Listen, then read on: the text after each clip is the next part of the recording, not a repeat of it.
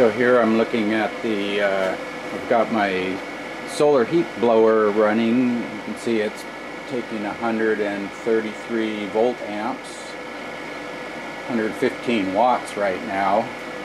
And that's pulling 11 amps, 11.1 amps on the inverter. And right now the batteries are charging at, uh, you can see right over here, about 2.1 amps and I want to see what happens when the freezer turns on.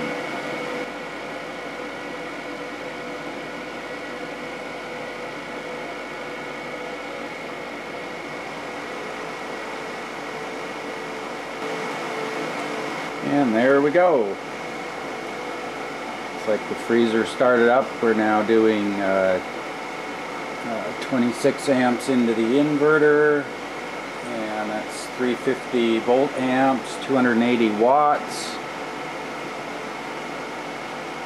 And right now it looks like the batteries are being discharged just a little bit. There's a few uh, high clouds blocking the solar panels. And I see about 175 watts from uh, each of the three 270 watt panels and it looks like the charge controller is starting to ramp up a little bit. You can take a look at looks that. Like it's putting out uh, it's at 14, 13 and a half, 14 volts at 23 amps, and we're pulling 16.1 amps of DC load. I have quite a few LED lights on, plus the blowers for the uh,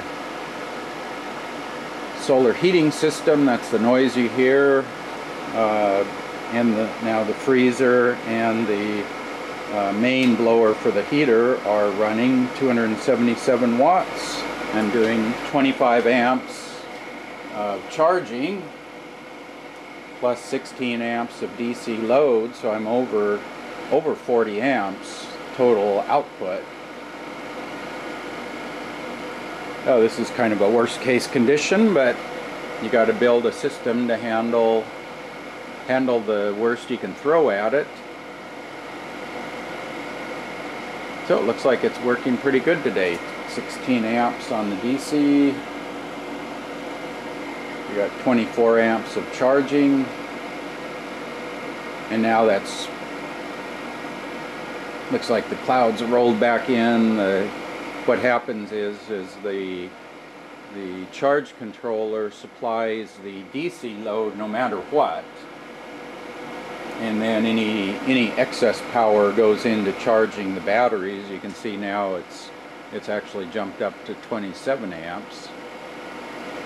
So basically any any excess power goes into the batteries uh, unless they're charged and since it was discharging for a while there it's now charging the batteries putting in a little extra current. I'm getting about 1.6 amps going into the batteries 25 amps into the inverter and then 16 amps out to the loads. So that's one of the advantages of an MPPT charge controller and you can see it's also uh, pulling the panels down. They're at what 23.7 volts right now so they're getting pulled down pretty hard uh, pretty low to uh, generate all that current. And it looks looks like there's still a light cloud cover so that's dropping the voltage a little bit but anyway, that's the system in action.